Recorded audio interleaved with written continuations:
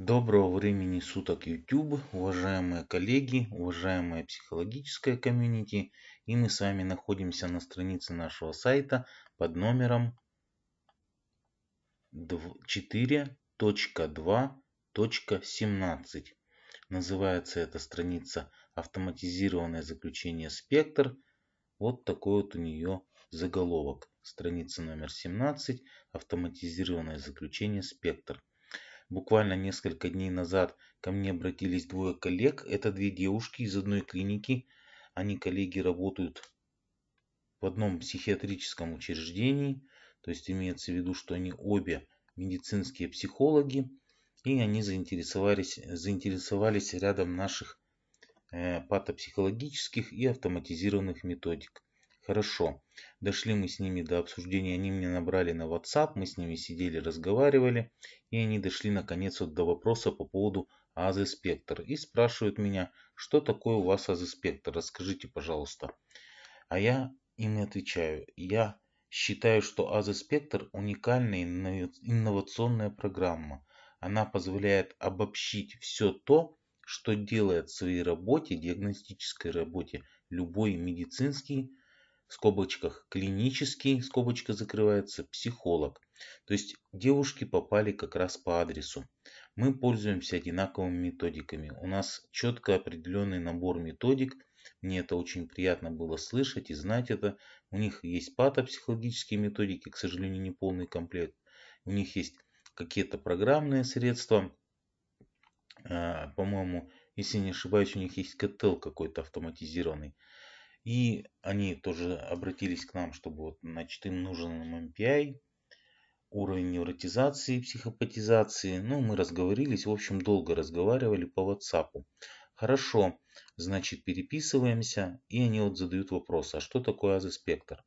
Берем любую патопсихологическую методику, берем любую автоматизированную программную методику, будь то MMPI, CATEL, УНП, УСК, НПУ, ну и так далее. Все, что мы используем, уважаемые коллеги, в нашей работе в плане диагностики. И вот Азоспектр это уникальная программа именно в том, что она позволяет быстро за несколько секунд, ну нет, я погорячился, не за несколько секунд, наверное, за несколько минут, создать быстро, относительно быстро, создать итоговое заключение по э, пациенту. Прежде всего, это, конечно, необходимо в рамках ЭПИ, экспериментально-психологических исследований. Э, сам проработав в этой сфере не один десяток лет, я понимаю, мы проводим обследование, сидим с человеком, как правило, 3, 4, 5 часов, иногда 6 часов, обследуем по патопсихологическим методикам, вот здесь вот они представлены, да, значит, количественным каким-то стандартизированным тестом, опросником и так далее. И после этого теряем, хороший психолог не теряет, а в общем-то начинается настоящая работа на основе индивидуального собеседования, на основе полученных патопсихологических результатов, характеристик, результатов по стандартным методикам, каким-то программным средствам. Мы садимся за обобщение. Основная наша работа за обобщение всего того материала, который мы собираем в рамках проведенного специалистом ЭПИ экспериментально-психологическое исследование. У хорошего опытного специалиста, опытного и хорошо знающего свое дело, это занимает не менее 40 минут написать такое заключение. Может быть это бывает когда-то дольше, когда-то меньше, все зависит от случая. Но удивительно то, что через какое-то время, буквально через год, два, три, может быть года, у любого специалиста э, патопсихолога возникает условно говоря, некий стандарт составления такого заключения. То есть появляются стандартные выражения, стандартные шапки, э, начало, то есть заключение делится на определенные этапы, да, когда мы описываем поведение, работу пациента, его отношение к обследованию, формален, неформален в контакте, э, идет ли он на контакт, сообщает ли сведения о себе в полном объеме или пытается где-то агравировать или диссимулировать. Э, одним словом, э, затем идет этап описания результатов патопсихологических методик, стандартизированных методик. Одним словом, буквально через два года все эти фразы, обороты, они настолько завязают зубах у специалиста, что он просто во сне, или разбуди его там ночью и скажи, ну-ка давай быстренько сформируй мне заключение по таким-то, таким-то, таким-то результатам патопсихологического эксперимента, анамнеза, понятное. И, соответственно, он как от зубов, как таблица умножения. Что там таблица умножения? Ерунда полная. А тут человек формирует, если записать там полутора-двухстраничное заключение по пациенту. Берет его потом, значит, распечатывает, вклеивает в историю болезни, карточку, ну, в зависимости от того, в рамках чего проводится экспериментальное психологическое исследование. Так вот, автоматизированное заключение спектр делает это все то же самое, она подставляет специальные фразы, она подставляет результаты тех или иных методик, и быстро-быстро в течение не 40 минут, у хорошего специалиста это так занимает по времени, а буквально в течение 5 минут специалист способен выдать свое заключение по каждому конкретному проведенному им экспериментально-психологическому исследованию. И это очень здорово. Я разговаривал в свое время с врачами-психиатрами. Перед моими глазами прошло масса историй болезней, э, карточек со вклеенными анамнезами, там, наблюдениями психиатров. Разговаривал со своими коллегами, не с одним десятком коллег, со многими разговаривал. И они тоже говорят о том же самом, что через некоторое время это становится настолько обыденным и понятным явлением. То есть ты можешь сформировать заключение моментально, будь то перед тобой там прошел человек, значит, ну, страдающий олигофренией, психопатиями какими-то разного рода генеза, неврологическими, невротическими заболеваниями, шизофренией. То есть формируется некий, некий стандарт, некая лекала, некая форма заключения по, по тем или иным нозологиям. И вот это автоматизированное заключение спектр – это не панацея, для составления от составления какого-то заключения, но оно позволяет быстро сформировать некий стандарт вот этого заключения, при необходимости дополнить его развернуто более какими-то расширенными характеристики, характеристиками по пациенту. И, соответственно, получается очень хорошо, быстро и интересно. То есть это некая не палочка-выручалочка. Специалист должен знать и обладать определенными знаниями это именно э, ну, это ускорение процесса. Да, примитивно, если говорить, и принижая достоинство этого программного обеспечения, в частности, от заключения спектр. Его нельзя принижать, потому что это действительно уникальная вещь для любого эксперимент, э, специалиста, проводящего экспериментально-психологические исследования. Это большое подспорье.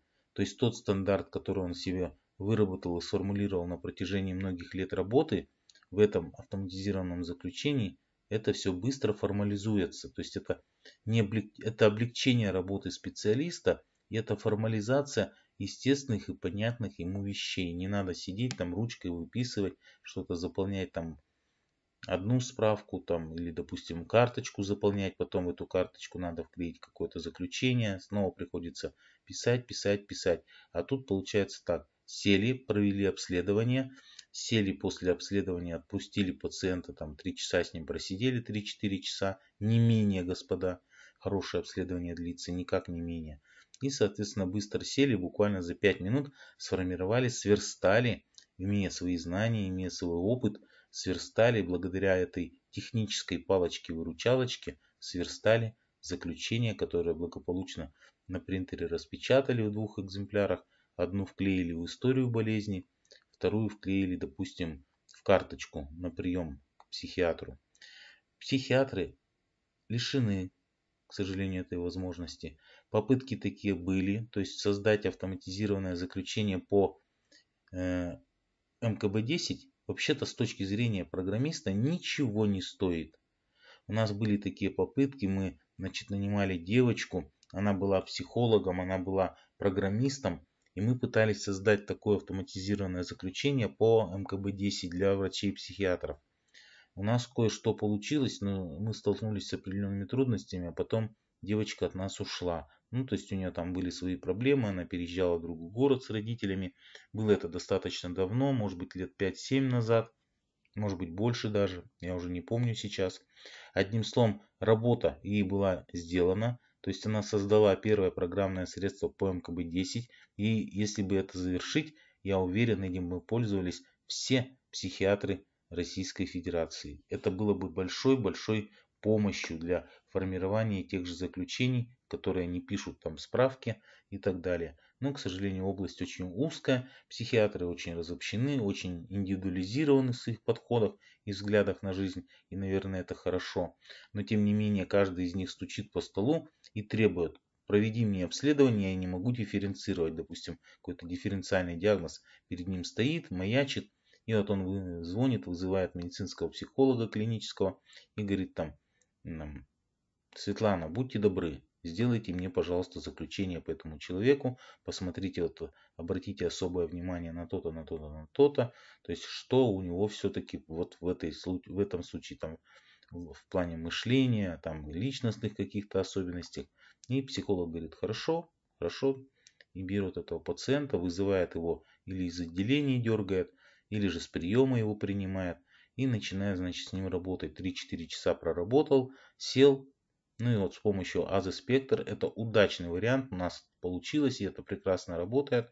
Он может быстро это все формализовать. Вот для этого нужно автоматизированное заключение Спектр.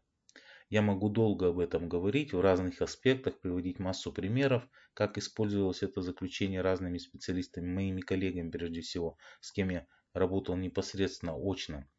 Вот. Соответственно, вот интересная такая программная продукция у нас предлагается для медицинских психологов.